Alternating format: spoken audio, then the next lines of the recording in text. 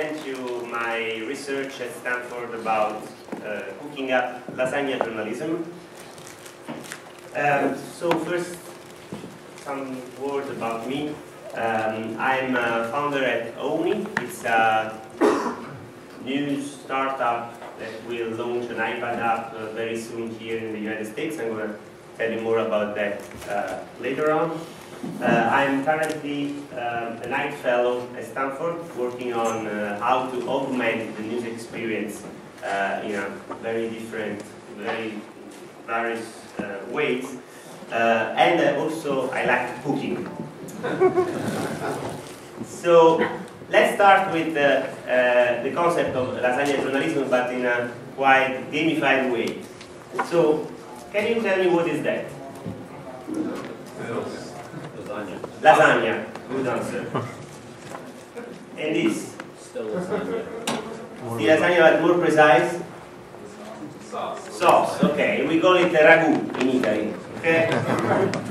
then, what is this? Bechamel. Bechamel. Very good. Who said bechamel? Very good. and this? Parmigiano. Okay? Not parmesan, but parmigiano. There's a huge difference. And this? Mozzarella, very good. Someone said, uh, when I was presenting this at Google, said garlic. We don't put garlic in everything in and this one is a bit difficult. Ricotta. Who said that? Very good. And then some basil, and the lasagna. So, I wanted to tell you about this uh, because um, I really think that lasagna journalism is uh, all about layers, just like augmented reality is all about layers. Uh, so lasagna journalism to me is a new way to report news, tell stories, and visualize data by using the layers of uh, augmented reality, graphic animations, uh, and more. So, but my point here is goes well beyond the cuisine, um, and what I would like to stress is the fact that the journalism and augmented reality, to me, are really done one for the other. There, is there are a lot of intersections between the two. Uh, if we take just a moment to think about the ultimate mission of journalism, uh, to me, it's really to uh, unveil what is hidden, it's to pursue the truth not in a philosophical way, but in a pragmatic way. It's the fact of fact-checking, the, the, the, you know, what, what happened, to, to verify facts, and so on. And augmented reality, on the other side, it's also about unveiling what is hidden. There is, a, by the way, uh, I don't know if there are uh, people of Greek origins in the, uh, here in the... Oh, okay. So how do you say truth in uh, Greek? I don't speak Greek, so. Okay. well, uh, at least ancient Greek. Uh, I'm, I'm Macedonian, so for anybody political Okay, audience, we okay. can talk later. I see. Well, we're not gonna go inside the Greek cuisine and Macedonian cuisine, but the, in the ancient Greek, you say truth, you say aletheia, and it means uh, what is unveiled. A, it's privative, and letheia comes from lantano, what you hide. So the, the truth for ancient Greeks would, would to unveil what is hidden. And there is really something very common between journalism and augmented reality from this point of view.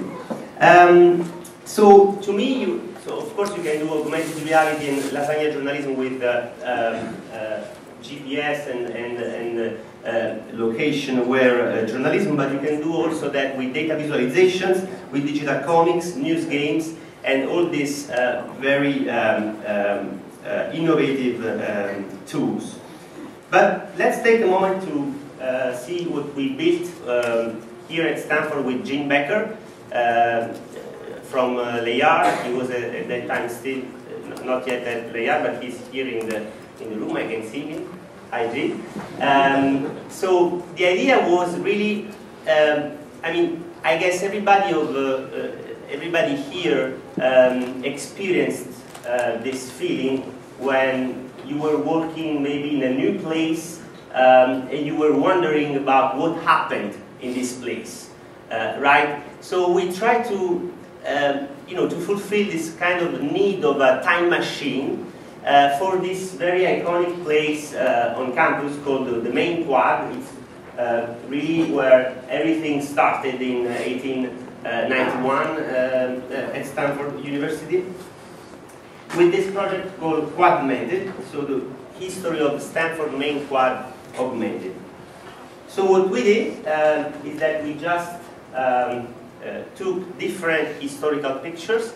So let's have a look at a couple of examples here. This is the Memorial Arch uh, in 1905, just before the 1906 earthquake. And this is the same arch after uh, the earthquake. So you can really see the difference. You can click on the bar, be redirected to different articles about uh, to, to, learn more about this. Uh, this is quite funny. Uh, so this guy just cold, just fell uh, into the ground during the earthquake, and actually it was a sort of a nemesis because he's, Agassiz is the first theoretician of uh, biological racism. Uh, but somebody put him up there again after the earthquake. Um, this one is also very interesting. Uh, you can see some uh, um, student soldiers marching on the quad during the First World War. And they are the ROTC, the Reserve Officer Training Corps, whose return is currently being debated uh, in many American universities. So what did, if you click on the, on the interface, you can both learn more about the ROTC at that time, but also about the current debate on ROTC, which is quite hot one, especially in this moment at Stanford. This one is also quite uh, uh, funny in a sense. Um, those pictures come from the, uh, the anti-Vietnam turmoil. Uh, on your left, you can see the um, uh, then uh, Stanford president talking with students pro protesting against the Vietnam War.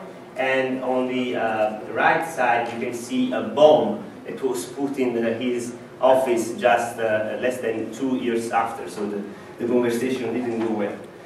Um, this is the Hoover Tower. Here we put some multimedia. You can hear um, a speech from Herbert Hoover um, uh, during the unfortunate campaign after the, the Great uh, Depression.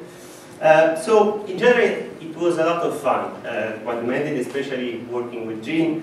Um, we used the Hoppala, uh, great uh, um, tool to, to build AR uh, without any programming skills.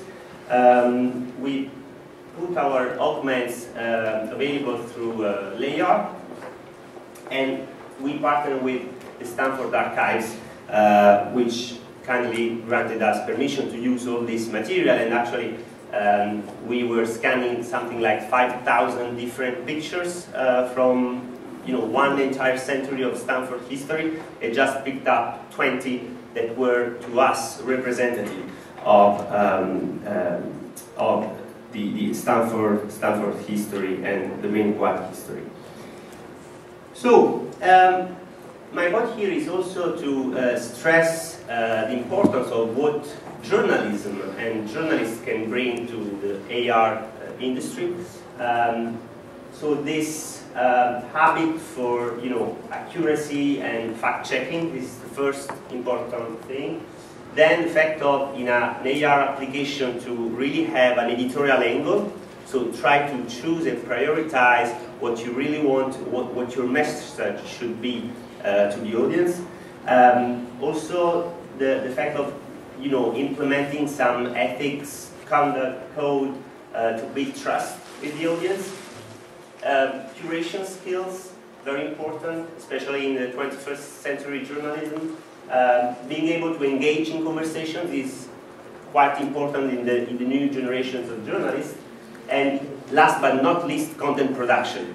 I've been talking with many uh, content creators in the uh, augmented reality space, and in general, they have been spending the, most of their time struggling with creating content versus producing actually the, the, uh, the technical, working on the technical part of the augmented reality. So content is a huge part uh, of it, and uh, I think journalists can, can contribute quite, quite well to that. Um, I was asked also how can um, uh, the AR experience be improved uh, from a journalistic and content creators uh, standpoint. Uh, first of all, we experienced some issue with the GPS uh, location. It wasn't always that uh, precise, especially when you have in one very narrow uh, location as the main quad, which has maybe uh, 100 meters of that diameter. Uh, when you have many augments, the GPS in general quite sucks. so um, we, we had some issues about that.